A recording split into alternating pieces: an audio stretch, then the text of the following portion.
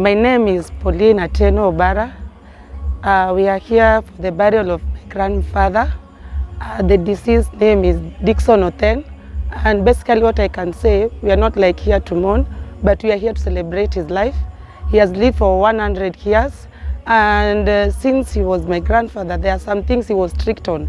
Really wanted us to do well at school, really wanted us to do our best even in life, to pursue life with a purpose and to live a grateful life. Uh, actually, I remember there was a time he came and stayed in our home in Nairobi for almost like 10 years. And I remember every time we used to come out of school and we just switch on the TV, we want to watch cartoons. You say, no, don't watch cartoons, switch it off.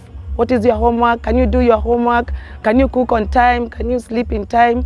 So those are the things he was basically grateful in. And also he liked visiting us and calling us as grandchildren together, advising us, telling us that we should live a peaceful life, a life full of purpose, a life whereby we walk in love, taking care of each other because our family is a very big family. Like cousins, I don't even, I can't, some of them even don't know each other, but we have met today and through it all we can see the love of our grandfather is prevailing. I'm so grateful we are celebrating his life. And we know that his generation will continue living on and on. We are going to carry his name, we are going to carry his advice, we are going to move on as from where he left. Though we feel sad that he left us so soon, but God knows it all. And we are grateful that he has seen the great, great, great grandchildren. And we used to come and we could see him even through the sickness. We saw him fighting. He was a strong man he never gave up he fought he fought but above it all we have our plans but god plans it all thank you What can you tell your cousins and your other grandchildren? What advice can you advise them in terms of unity? in terms of unity what i can say that we should all like forget the differences that we've all have had and we should just heed the advice of our, of our grandfather in our hearts. Even to the grandchildren, we should all heed in that. He was a great man who wanted us to study, who wanted us to pursue our degree, wanted us to, to live a life which is God-fearing. He also loved God so much. I remember there's a time that if you don't go to church, he will tell us no eating. No going to church, you don't have to eat lunch that day. And some of us, through that, we were able to go to church, we were able to to like pray, we were able to live. So I would like to tell my cousins and the great grandchildren, the grandchildren and my aunties and my uncles, let's keep the love moving. Let's continue living with peace. And What, what, one word you can say in the Luo or just a phrase about your uncle from you? For my? Anything that you can say in the Luo because I know you're Luo? Yeah, actually I'm a Luo, but uh, Hera Remo. That's what I can say. Hera Remo. Kwa majina naitwa iluonga Mildred Atieno. Mi ane nyar Margaret Maduong ambayo ni msichana mama, mama mkuu. Mama yangu ndio sasa amebaki kama mkubwa kwa boma hii. To gino madang' aher wacho, babu noketowa kamoro achiel na upendo no wadwaro mondo mi obedie. Isikue nitie gimoro mabiro biro pogowa kaka familia.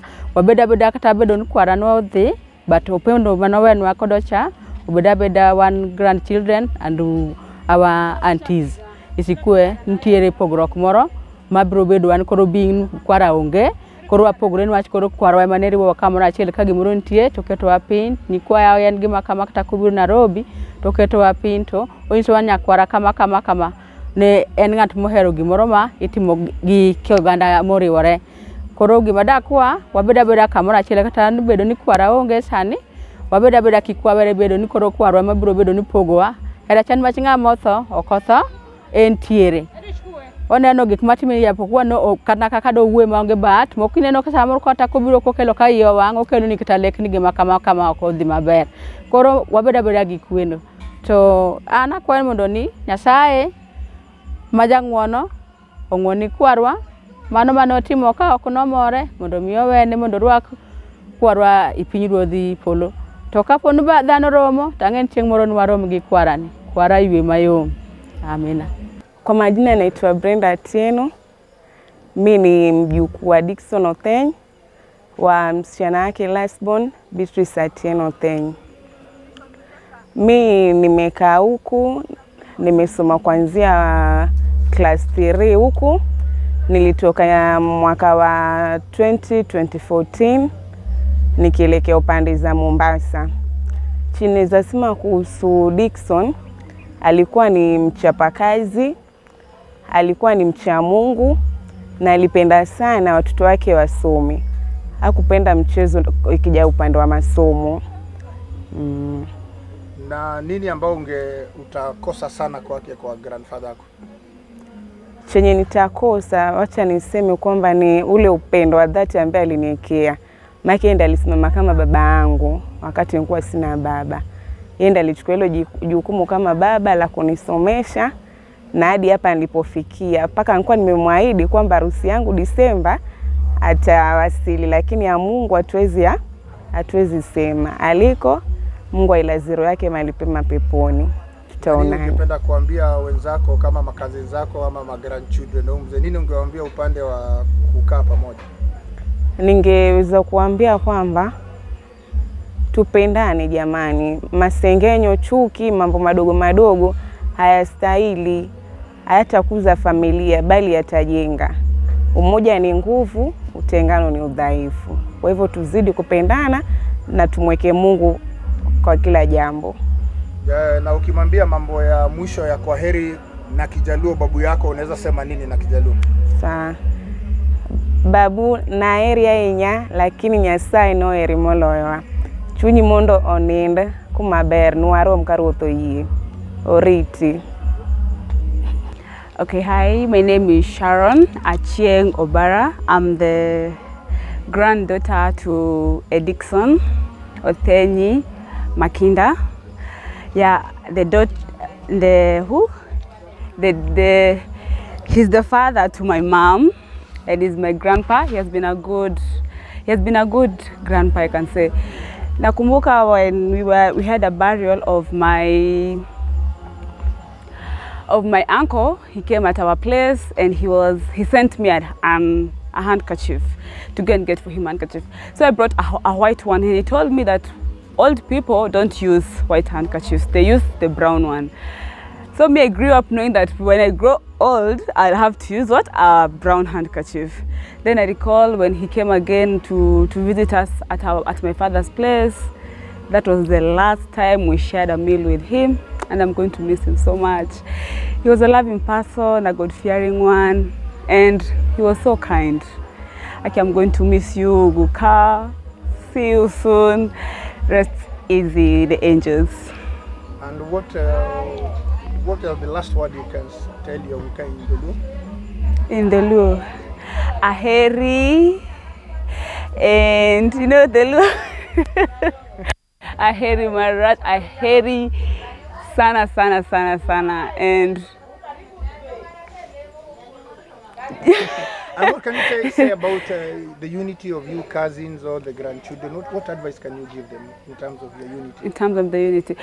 Yeah like you know Guka like Babu ana, alikuwa anapenda kuleta watu together. So he wants us like to be together. Hata venye ameenda anataka tu tu- tukue pamoja.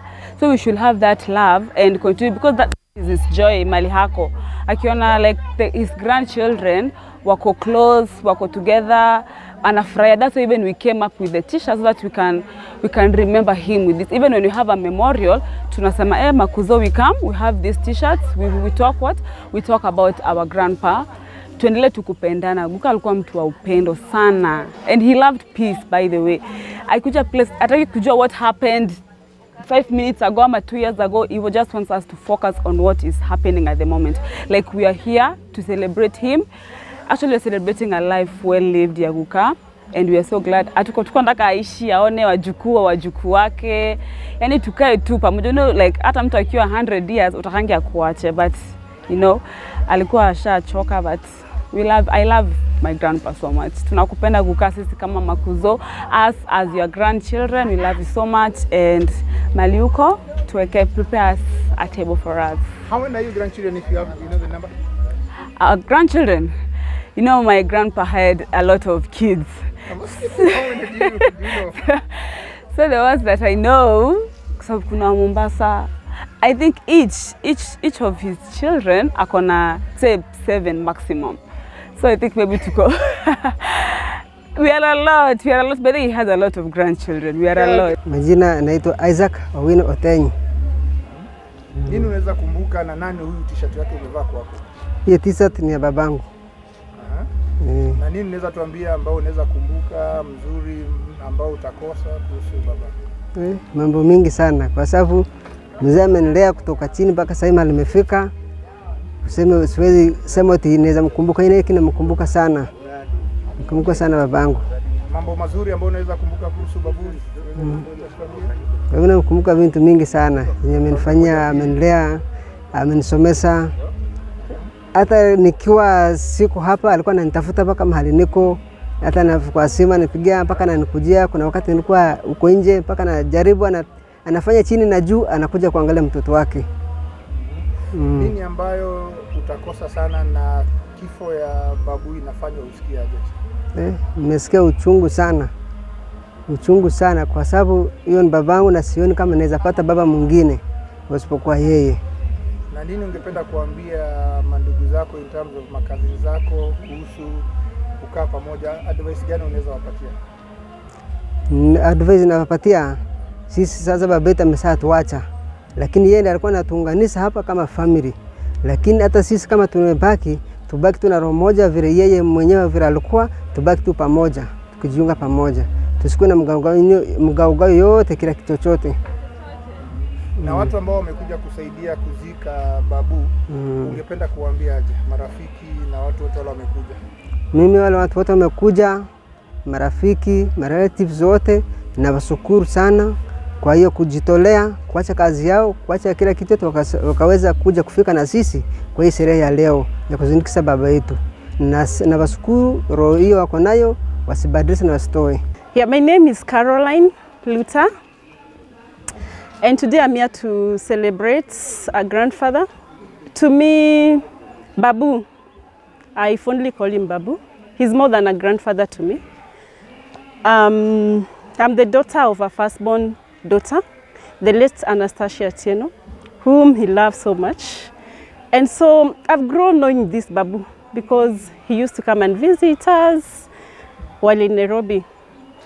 And the reason why I'm saying is more than a grandmother. When I lost both my parents at a very young age, I was around 13 when I lost my dad. Then two years later, I lost my mom. He's been like a pillar to our family. Who will visit us where, where our- late father was, and he's fought so many battles for us. So today I'm not only losing a grandfather, but I'm losing a great pillar. I'm losing a dad. I'm losing, I've, I've lost a confidant, eh? and I feel like I've been orphaned twice. Yeah, so one thing I like about my grandfather is he was a very loving person. Uh, I remember we had to cool him down from coming to Nairobi because he could come even at his 70s, you can imagine. And within a week, my grandfather will have visited all of us in Nairobi. All of us. I know we are scattered. We are in Dandora, we are, you know, everywhere. But within one week, this lovely guy will have visited all of us. And will make sure that, you know, and that is one challenge that is giving me that love is very paramount. Love is very paramount. In fact, he will, he will wonder, he will come and say, Kwani, when was the last time you've seen your, your brother? And I will tell, like two years. And he said, No, you people, you're not doing the right thing. How can you be in Nairobi? And you people say, for two good years without visiting each other. And so um, that is one thing I'm praying that this tie, this family tie will, you know, will continue. The love will continue with this legacy. So today, as I lay down, you know, in Luo tradition, this is my husband, you know, this is my husband. So today, as, I, uh, as I'm laying him down to sleep until we meet again, yeah, I have mixed reactions. I'm celebrating because of the good and many years that uh, God has granted him, over 100 years, still very strong. And I pray that we'll keep up the family tie, that uh, you know, is the main tree, the main tree, the main link. We are a very big family. By the way, we are, very, we are scattered all over. That this bond will remain, the love shall continue in this family until we meet again. So I love you so much, grandfather. Ninigikwe jaoda. till we meet again. Bye. Okay, thank you. Uh, my name is Mustafa, and this man is my grandfather. And so, grandfather was not only uh, a family member to me, he was a friend. Not only a family friend, no, no, no, not only a friend because of family ties, but a friend individually, because I was privileged to spend some few times with him, and I can attest that that spending time with this man was, was never a lost; it was a gain. Because he could he could he, he could give you an advice he could caution you on some on some things especially when you when when you went astray a bit he could ensure that he gives you a, he gives you a, a, a correction with love you know. He was a, a loving person. And also he was a, a family person. And he was also a very humorous person. Uh, whenever you spend time with him he was uh, he was assured to laugh at whenever you are you are happy or not, but at any point you're just assured to laugh because he was a person who had a lot of sense of humor, and he was a joker. He could he he was just a, a- a funny person to have time with.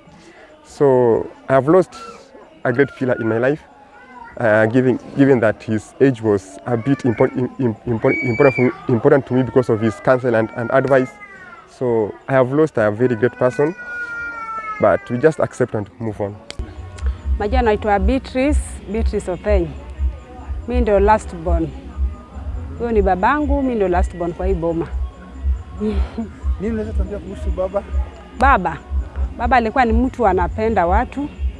Hata kuna sometime alikuwa akikuja Mombasa, anakuja kututembelea. Na tulipokuwa tukisikianga baba anaumwa, mimi nilikuanga na uchungu mwingi, kwa sababu upande wa fedha sikukuwa nacho na nilikuwa natamani hata kama inaweza kuwa ka, baada ya miezi miwili nilikuwa natamani huwa nikifika nimtembelee, lakini baba alikuwa anapenda watu, anapenda watoto wake.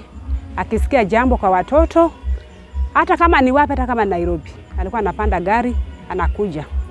Anatuweka chini, hata kama ni mzee, hata kama ni nani. Sasa baba yetu alikuwa ni mtu wa upendo, yaani baba alikuwa apendi maneno mengi. Hiyo nilikuwa napendea babangu sana.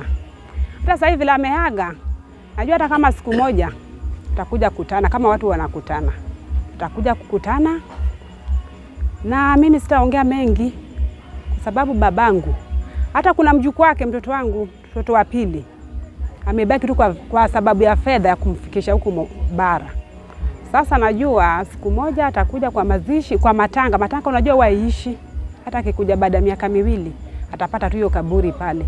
Sasa nina imani sisi vile tumefika, Mungu atujalie turudi makwetu, na hapa ndio bomani, bado tutakuja, tutazidi kukuja, hata wajukuu, mandugu, madada, marafiki, vile tulikuanga kitambo, tuzidi kukua hivyo.